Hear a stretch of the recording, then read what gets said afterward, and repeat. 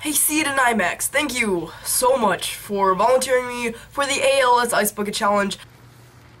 oh my gosh!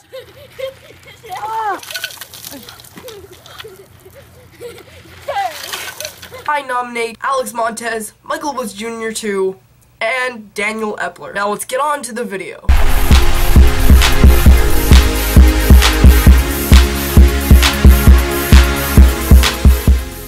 Cops is directed by Luke Greenfield and it stars Damon Wayans Jr.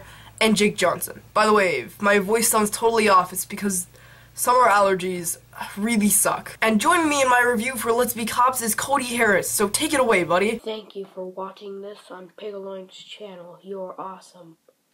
But if you're watching this on my channel, it makes you even more awesome. Today I will be reviewing Let's Be Cops. Oh!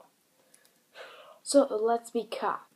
So, Let's Be Cops stars Damon Wayans Jr. and Jake Johnson. Damon Wayans Jr. plays a guy named Justin. And Jake Johnson, he plays a guy named Ryan. And he pretty much does nothing in his life. And I mean nothing.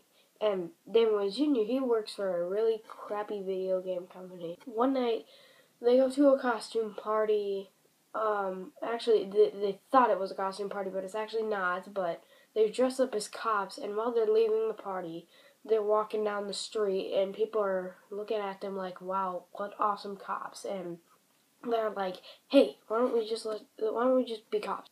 So then they pretend to be cops, and they're getting in some deep trouble, man. So when I saw the trailer for Let's Be Cops, I thought it looked hilarious. I thought I thought it was gonna be hilarious and like I was gonna laugh the whole time. And was this movie funny? Holy shit, yeah. I laughed from start to finish. I swear to God, this is not the funniest movie of the year, the second best comedy of the year. And that's really saying something. Then again, it's kind of not because, you know, comedies aren't really that funny anymore. Here, take this and this for example. not, not, just not funny. Second best comedy of the year after Neighbors. Now, people are gonna get mad at me for this by saying, okay, I liked Ride Along. I did. I thought it was funny, even though Kevin Hart really carried the whole movie and it was boring at some time. I just thought it was funny and it was there and it was entertaining to watch. This was so much funnier than Ride Along, I swear. At least they didn't have a bunch of 3D gimmicks like in RIPD, you know, stuff like.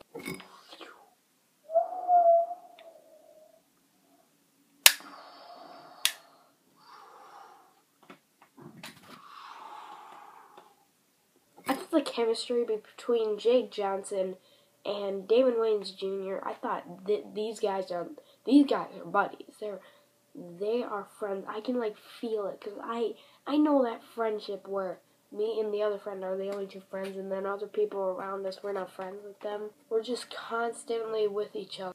The villain in this movie, that guy looks like Ethan Hawke. I swear, if Ethan Hawke was a stunt guy and the guy did stunts in the movie, he could have been a stunt double, I swear.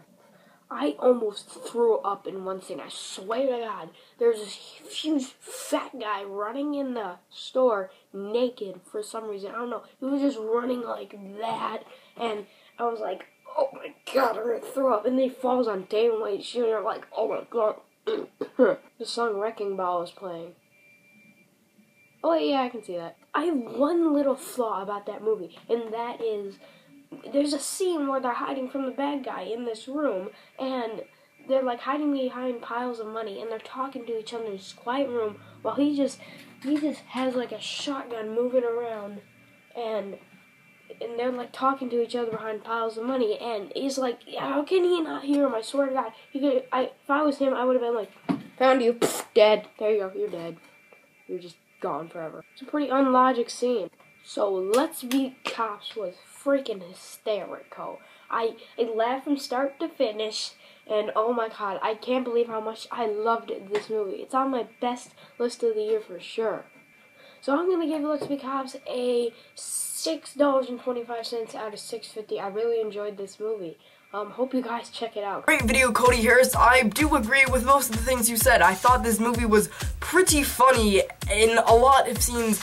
But really, like, more than it was funny, this movie was just really fun. This concept is undeniably great, and I really think they explored this concept to like the max of what they could do and they make it as funny as I think like this concept could be. Are some characters completely and utterly unrealistic? Yeah, but it's all really fun and entertaining so you can let it slide. Damon Wayans Jr.'s love interest in the movie, just know that it, it didn't really work. It felt really forced. And why does everyone think the villain in this movie looks like Ethan Hawke? I don't see it like at all. But yeah, this movie had some pretty good action. When there was action, was pretty funny. It was really entertaining. I will watch this movie movie again. Like, guaranteed I will watch it again. I'm going to give Let's Be Cops a 3.5 out of 5. I think it's a pretty, uh, it's, it's a really fun movie. It, it's really, like, guaranteed a really fun movie. So go check it out. So thank you to Cody Harris for being on my channel and reviewing Let's Be Cops with me.